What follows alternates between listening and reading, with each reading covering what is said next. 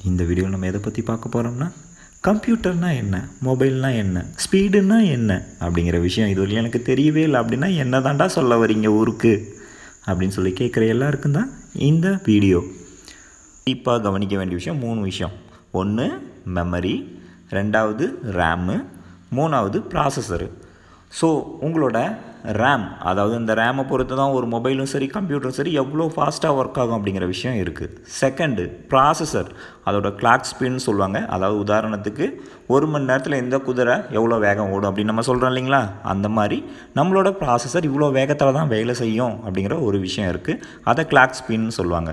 So அது குறைஞ்சபட்சம் one point seven ஜிகாஹெட்ஸுக்கு மேலே இருந்தால் தான் நீங்கள் பெட்டரான பெர்ஃபார்மன்ஸை எதிர்பார்க்க முடியும். அதுக்கப்புறம் அதுலேயே ரெண்டு விஷயம் இருக்குது மீடியாடெக் ப்ராசஸர்னு ஒன்று இருக்குது ஸ்னாப் ட்ராகன் அப்படிங்கிற ப்ராசஸர் இருக்குது பார்த்தா மூணாவது நீங்கள் எவ்வளோ ஸ்டோரேஜ் உங்களுக்கு தேவை அப்படிங்கிறத நீங்கள் தான் டிசைட் பண்ணணும். தேர்ட்டி டூ ஜிபியா சிக்ஸ்டி ஃபோர் ஜிபியா அதே கம்ப்யூட்டராக இருந்தால் ஒன் டிபியா டூ டிபியா எவ்வளோ மெமரி வேணும்?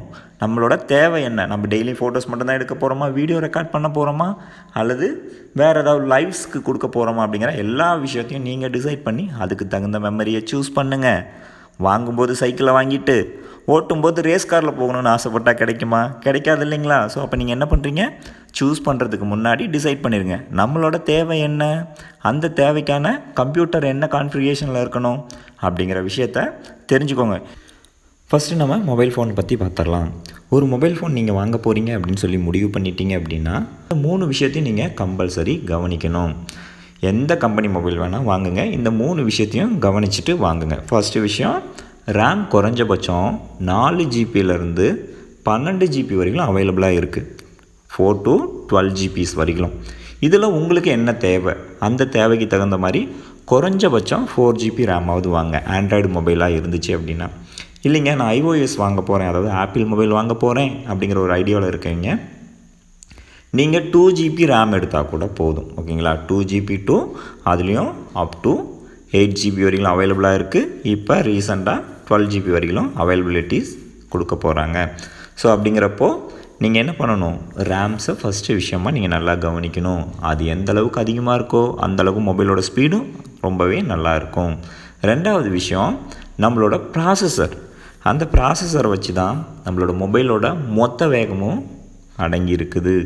ஒரு ப்ராசஸர்னு பார்த்தீங்க அப்படின்னா குறைஞ்சபட்சம் ஸ்பீடு டூ பாயிண்ட் எயிட் ஜிகாஹெட்ஸில் இருந்துட்டு த்ரீ பாயிண்ட் ஒன் ஜிகாஹெட்ஸ் வரைக்கும் இப்போது அவைலபிளாக இருக்குது நீங்கள் ஒரு ஒன் பாயிண்ட் சிக்ஸ் ஜிகாஹெட்ஸ் மொபைலை வாங்கிட்டு நான் ஒரு ஃபோர் கே வீடியோ பார்க்கணும் அல்லது என்னோடய வீடியோ ரெக்கார்டிங் ரேஸில் போகிற காரை ரெக்கார்ட் பண்ணணும் அப்படின்னு ட்ரை பண்ணிங்கன்னா கண்டிப்பாக பண்ண முடியாது.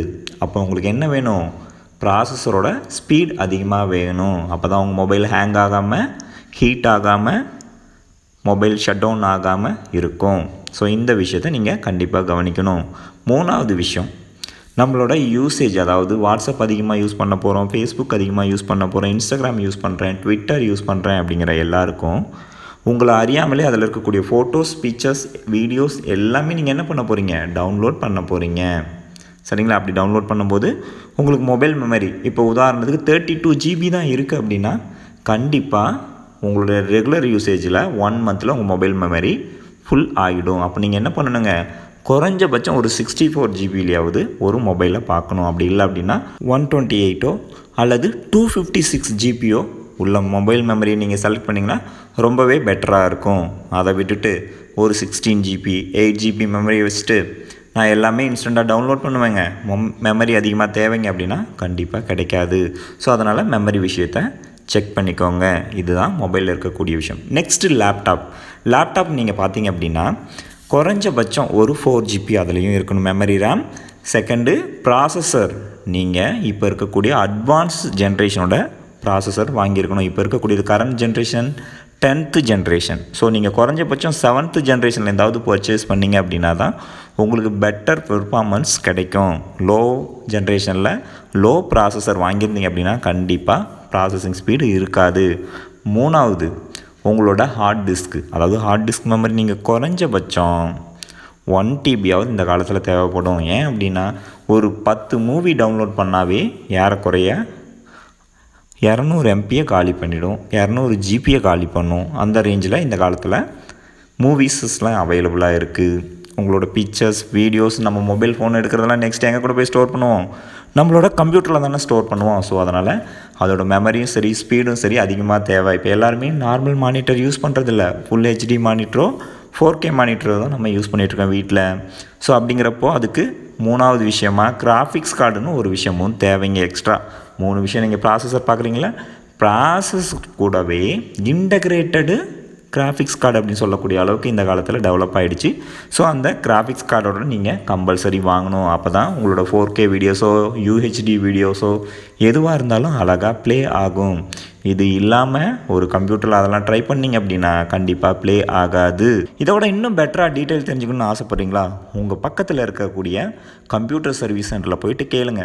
என்னோட தேவை இது. நான் ஒரு கிராஃபிக்ஸ் டிசைனர் அப்படின்னா எனக்கு என்ன கான்ஃபிகேஷன் சிஸ்டம் இருந்தால் ரொம்ப நல்லாயிருக்கும் நான் ஒரு ஃபோட்டோகிராஃபர்னால் அதுக்கு எந்த மாதிரி ஒரு சிஸ்டம் இருக்கணும்? அல்லது நான் ஒரு லெக்சரராக இருக்கேன் அப்படின்னா அந்த லெக்சரரோட கான்ஃபிகரேஷன் என்ன? அப்படிங்கிற விஷயத்த எல்லாத்தையும் நீங்கள் கேட்டு தெரிஞ்சுக்கோங்க. கேட்டால் தான் ஆன்சர் கிடைக்கும். நம்ம கேட்காமலே யாரும் நமக்கு ஹெல்ப் பண்ண மாட்டாங்க. வீடியோ இப்போ நம்ம ஏன் எதுக்காக தேடி வந்திருக்கோம் யூடியூப்பை நமக்கு தேவையான விஷயத்தை தெரிஞ்சுக்கணும் அப்படின்னு சொல்லிட்டு தானே? ஸோ இது மட்டும் இல்லை. எந்த விஷயமா இருந்தாலும் சரி ஒரு முறைக்கு பத்து முறை நீங்கள் தேடி பாருங்கள் உங்களுக்கு தேவையான ஆன்சர் கிடைக்கும். நமக்கு ஈஸியாக சில டிப்ஸும் சொல்லியிருக்காங்க இல்லைங்களா? ஒருத்தன் முன்னேறணும் முடிவு பண்ணிட்டா ஹார்ட் ஒர்க் பண்ணணும். வீட்டில் படுத்து தூங்கிட்டு இருந்தா சக்ஸஸ் கிடைச்சிருமா? தேங்க்ஸ் ஃபார் வாட்சிங்